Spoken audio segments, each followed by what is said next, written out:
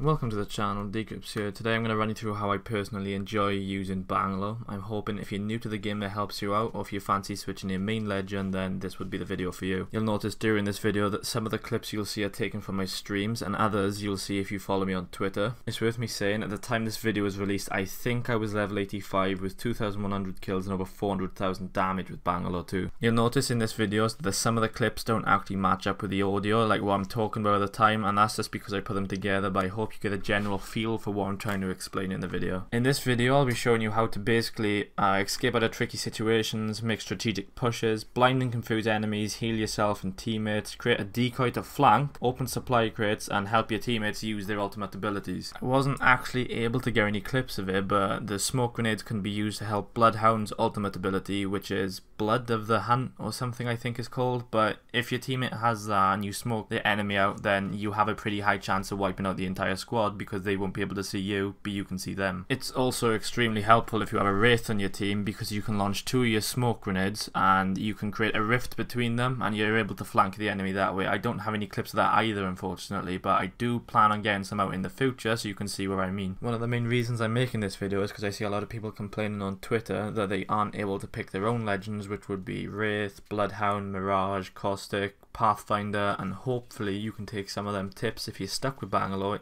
into the game and try and get the win for your squad. One of the first things you should note with Bangalore is that smoke grenades have a 30 second cooldown if you pop them both at the same time, so always try and space the grenades out so the other ones always have time to cool down before you can use them again. As Bangalore is one of the smallest legends to use and one of the quickest, you want to be keeping the guns to a very close quarter combat type situation. So always go for the submachine guns. Like the, my favorite is the R301 carbine. Go with a Peacekeeper with that. You could go with a Wingman and a Peacekeeper, or my personal personal favorite is the Spitfire and a Peacekeeper. But always make sure you've got the correct attachments on your guns, or the guns basically become useless. In the next couple of clips you'll see how I use Bangalore Smoke and passive ability to wipe out teams but I'll just let the audio play so you can hear what I'm thinking in the situation and tell my team what to do to help me out. Uh. More people again, no. Wait, wait, wait, don't push up, don't push up, don't push up, stay there.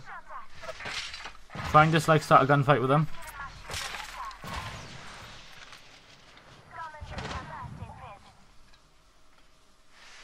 One thing you can do as well is sit in your smoke grenade and listen out for footsteps and relay that back to your team just for information so they know where they are.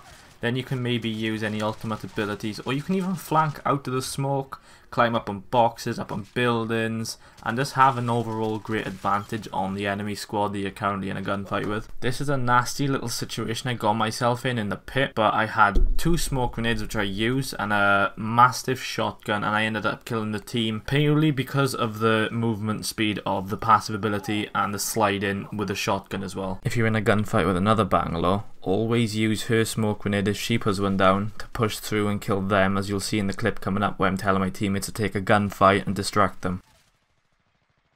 This clip really shows how much of a pain in the ass you can be in terms of using the smoke grenades with a shotgun because I put the smoke grenades down and the other Bangalore didn't have a clue what was going on, didn't realise where I was at all, running in from different angles, tagging up with a shotgun and then ultimately just leading to the down at the end and just wiping out the squad. If you see the enemy team has a Bloodhound, be careful because they will rip you to pieces if they use the ultimate ability when you're in your smoke. It's happened a couple of times to me where I've popped her off thinking I'm fine. I've heard him breathing heavily and just died instantly. In terms of the smoke grenades, it's pretty useful to use them to heal yourself dip out of sticky situations in which you find yourself taking loads of damage, heal up and res teammates. The smoke grenades last long enough that you're able to pop off a phoenix kit or shield battery as well so if you have them on hand as soon as you get in your smoke pull one out, use it and get straight back in the gunfight if your teammates need help. I use a smoke grenade here to quickly slide through and res my teammates while my other teammates are in a gunfight with the team. Another thing you should do is when you kill enemies check to see if they have an ultimate accelerant as this will help with your ultimate ability. Bangla's ultimate has probably the biggest area of effect damage in the game next to Gibraltar's bombardment. Each explosion does 20 points of damage but this can also take shields off and stun the enemy so you want to use that whenever you can. Also really really good for third party and so if you hear two teams fighting and you have it charged up just chuck it towards them because you're either guaranteed to do some damage or get a couple of downs even maybe some kills so it's, it's well worth it in the end. This clip is one of my favourites it just shows how one smoke grenade leads to me wiping out an entire team in a house and they don't have a clue where I am. If you enjoyed this video, do let me know down in the comment section. These are my first couple of videos, so I'm not feeling the most confident with them, but any feedback would be appreciated. If you do like it though, please feel free to leave a like and subscribe, as this would help me grow my channel out and I would greatly appreciate it.